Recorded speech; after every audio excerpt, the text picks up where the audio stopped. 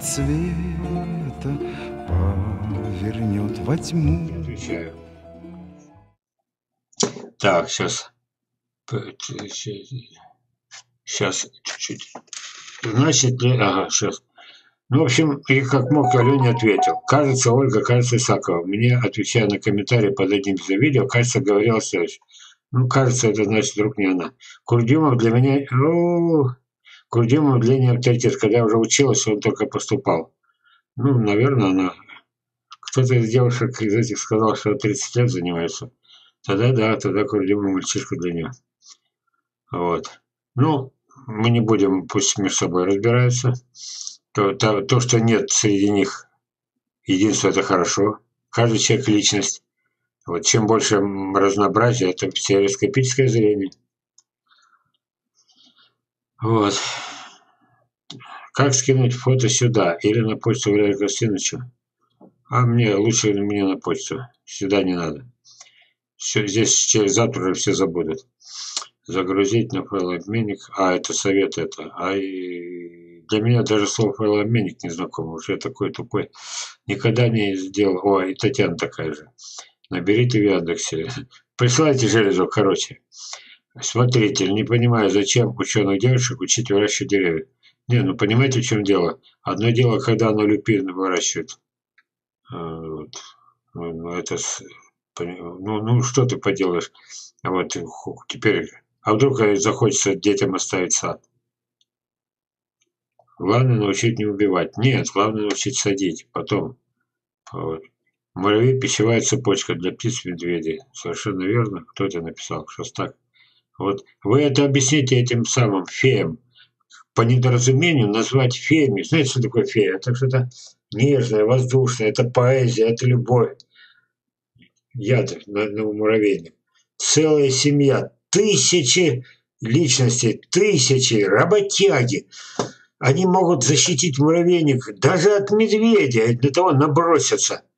Вот. Напротив человека они бессильны, потому что у человека в руках это так же, как, знаете, газ зарин, это так же, как газ хлор, 20 тысяч солдат отравили немцы. Вот. Это то же самое, из той, из той же породы. Вот. Вот чем беда-то, вот что страшное. Откуда я знать, что муравей пищевая цепочка? Так, поздно переучивать. Нет, почему? Ольга, это самое, Исакова, задала вопросы, значит, смотрит, значит, по неволе заучится. Так, вот это уже херню не надо заниматься. Ребята, чтобы больше этого не было. А, Алексей, я от тебя не ожидал. Ну ты-то мужик нормальный. Разве можно так писать? Вот сейчас же это самое, портишь себе настроение в угол поставить, тоже это сильно громко. Поймите, они, они не виноваты, их такими вырастили. Для них альма-матер это все. Если там сказано, что Бога нет, значит нету. А кто-то из студентов, из мужиков уже возьмет оружие и пойдет убивать, потому что Бога нету. За он за это отвечать не будет. Понимаете? Ну так уж сложилось. Они не виноваты ни в чем. Они даже спорят искренне. Они искренне убеждены, что я парю чушь. Искренне. Это вам кажется, что я что-то делом говорю. Не оскорбляйте их. Так, здравствуйте, Валерий. У меня к вам такой вопрос. Если одна часть плодовых деревьев находится в низменности, где влажная почва, ага, а другая часть в вышине, где почва более сухая, во время засухи те деревья, что выше, особенно страдают. Ну, правильно? Можно ли путем сращивания ветвей деревьев, что находится в низине влажной, с ветвями деревьев, что находится где сухо, поддержать за счет деревьев, что внизу те, что находятся во время засухи. Я не знаю, что... Это очень сложно. Идея хорошая. Вот. Но как вы их сращивать будете? Вот мне даже не хочется отвечать на этот вопрос. Это трудно технически, сращивать трудно. Вот. Просто мой вариант другой.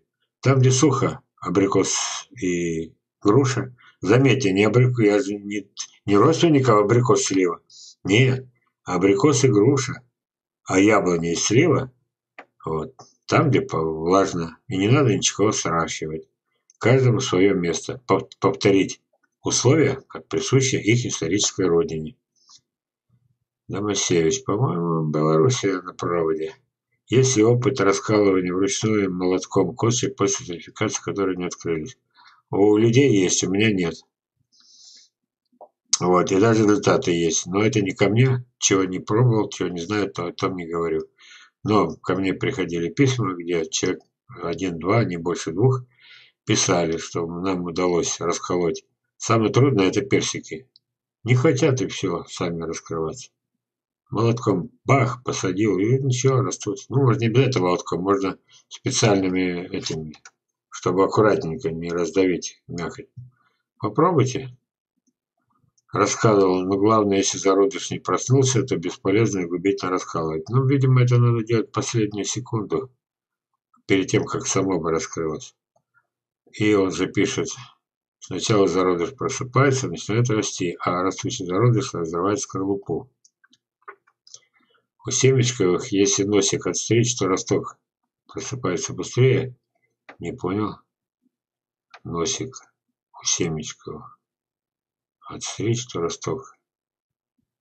Какой носик? Может быть, я уже устал так, что не соображаю, чем мне, чем мне просят. Так, носик. А, ну если это имеется в виду саженец, если его самую верхушку отстричь, то да, просыпается быстрее. Ничего нельзя трогать, правильно? Молодой росток погибает от любой травмы. Поврежденная семидоля дает хилый рост. Поврежденный корешок просто губит. Все правильно. Так, всем привет, свинин. Это Астрахань, я знаю. И сотни, примерно половины, должна проснуться. Шостак, не трогать, резерв командующего неприкасаемый. Это моя фраза, резерв главного командования. Здорово. Идет уже это, в народ идут мои фразы. Так, если это фильм смотреть не будем, если это фотография, посмотрим. А, нет, это вы еще с Ольгой разборку. Не, пропускаем. Как хотите, ребят, пропускаем. О, а теперь как вернуться там, где были? Не дай бог, не найду. Кажется, я зря. А, видите, так и не могу сюда попасть. Так. Сейчас, видимо, нам надо попасть будет. Зря я туда, туда вышел, теперь я не могу туда вернуться. Попробую вот таким образом сюда. Сюда. Ага, все-таки вернулся. Сюда, так. Ага, где-то здесь мы остановились.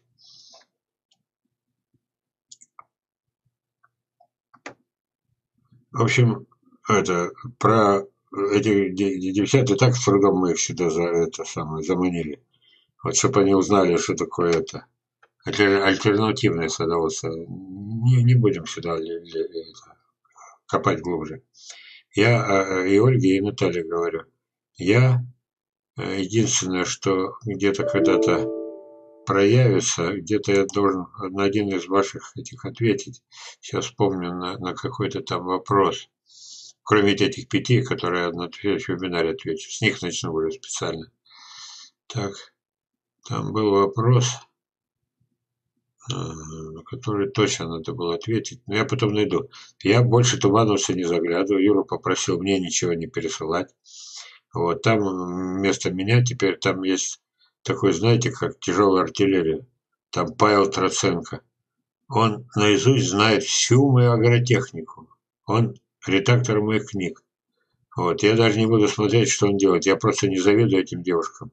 Просто не завидую. Как я не завидовал этому Халилову, кандидату наук, который ненавидит меня инстинктивно. Я ему ничего не сделал. Я с ним никогда не общался. Но ненависть инстинктивная. Но все-таки он его это самое когда после его помощи, после того, когда мы разобрались с Халиловым, появилось письмо Тухватулина, по-моему, да, 30 километров, прекрасно растут абрикосы, и теперь так будет обидно и Халилову, если до него дойдет, что рядом с ним, и хорошо бы он эти 30 километров проехал и посмотрел на этот сад, потому что его слова «ничего здесь невозможно, абрикосы железки умрут и умирают», вот, с ним разобрались. А вот с этими женщинами разбираться не надо. Наш шанс попасть в Москву, наш шанс э, это вместе с ними в одной паре в, одно, плечом к плечу защитить Тимирязевку, потому что у нас такой козырь, но нам годы надо, и грант надо. Вот. А вдруг хотя бы Ольга, которая все-таки не чурает общения, а вы хотите, чтобы мы сейчас разборки устраивали. Я не лезу в Тумановскую канал, вот, своих дел хватает. У меня 10 свертанных вебинаров. Вот. Ни черта не успеваю. Но сегодня был особый день. Я должен был рассказать, но хотя не все рассказал. Вы еще не знаете несколько тем важнейших, от которых зависит наша жизнь, жизнь наших детей, наше будущее. Только потому, что паперсики пришли к власти. У них нет мозгов, они настолько примитивны, они, они не виноваты, их в памперсах вырастили. В памперсах не растут умные мужчины, в памперсах не растут сильные мужчины. Они не защитят вас, они не защитят это самое, эту же самую Тимирязевку. Вот когда новый министр образования, министр, это нет, но министр науки и высшего образования сидит под плакатом «Будущее за ЭГЭ». Это все, это смерть всему образованию. И все это уже знают. Ну, специально, что ли, как будто нет дьявола. Дальше читаем. Правда ли, что привой, привитый на горизонтальную ветку заплодоносит быстрее, чем на вертикальную? Дело в том, что дальше он пойдет э, вроде бы горизонтально, вот, на горизонтальную. Но дальше у него судьба такая. Он не может расти так. Он, он все равно должен расти к солнцу. А, а получится ли плоды, зависит от того, подвой какого возраста, привой какого возраста, потому что бывает и двухлетки прививает. Потом, значит, если взято середину, почка, э, ветка, черенок середины, он на год на два позже заплодоносит, чем если взят снизу. И уже разные это. А главное, не прививайте на горизонтальной ветке. Вот это мой ответ. Так, здравствуйте, все участники 105-го занятия. Категорически поздравляю всех с 60-м днем космонавтики. Спасибо. И на Марсе вот яблони свести не будут. И здесь им не дают свести. Как, как же на Марсе? Здесь им не дают свести. Цветет дерево. Нет, вы берите это самое, обрывайте листья, обе эти почки, ой, цветочные цветы. Другой момент. Ой, урожай-то будет какой, давайте обрывайте, покажу вторую. Кажу второй а, а оборвал ну, этот самый, ран понаделал, заморозок ударил и вообще нет урожая. А вы видите на Марсе. На глубине 20 метров в песчаном карьере откопали деревья, а черноземе. А это как понимать? А песчаный карьер временный или постоянный? Если ему 20, если ему миллион лет, песчаному карьеру, а ниже могло быть такое. Почему? В песке очень хорошо сохраняется органика. Ну, понимаю. Могло быть. Березы, клены растут на каменных развалах, почвы нет, магии. Но вообще-то береза, она белая, белая береза, белого цвет коры, вот, они совсем другой планеты. Они сюда занесены совершенно других условий. У них э, рассчитаны на или излишки там, на той планете, откуда они к нам прибыли. А я не шучу. Я не шучу. Панспермию никто не отменял. Это нормально. Миллиарды и миллионы лет для этого есть. Чтобы все это было одним целым, вся Вселенная. Так вот, раз их э, кора отбивает солнечные лучи, не дает перегреться, значит, береза это с очень жаркой планетой. Все. Вот. А если жаркой планеты, представим себе, что там много каменных развалин. Вот. И никакой магии. Если вспомнить, что береза все равно здесь не родилась на Земле. Уже никакой магии. Все нормально. Просто та планета жарче. Так, здравствуйте. Вот хоть бы кто-нибудь меня отругал. Господин Залин, скажите, если приводить черенок раннего срока созревания, а подвой поздний срока, и наоборот, как вредит деревцу, по вашему мнению? Да, вредит. Но почему? Потому что у них разные эти. Вы знаете, я беру деревце, э, дурак дураком, но пригодилось же. Я их после Нового года смотрю, а сертификацию сначала раньше, я же не знал, еще осенью. А потом раз, смотрю, к Новому году лопаются эти косточки. Я их раз горшки. Заставил все, стол, подоконники, все. Я вырастил что-то между двумя местами, то местами этих. А когда высадил, они погибли. Почему? У них разные получились эти стадии развития. Надо будет как-то вернуться к этому. Это от него пошло слово стадийность, от э, Лысенко. Правда, опять бить будут. Да что с ним? Так вот, это яркий пример. И то же самое частично происходит, когда мы стыкуем не э, близких, раз уже у них разные сроки созревания, разные сроки просыпания. Они уже не совсем близкие родственники, а чуть подальше. Это конфликт между подвоем и привоем. Брать можно количеством, второе, третье поколение по железу. Вот. А так, чтобы сразу, просто результаты будут гораздо хуже, чем, допустим, у вас бы совпадали бы сроки созревания и так далее. Так. У молодых саженцев нет комедичения, когда оно, оно проявляется. Когда калечить начнете, или природа, или вы.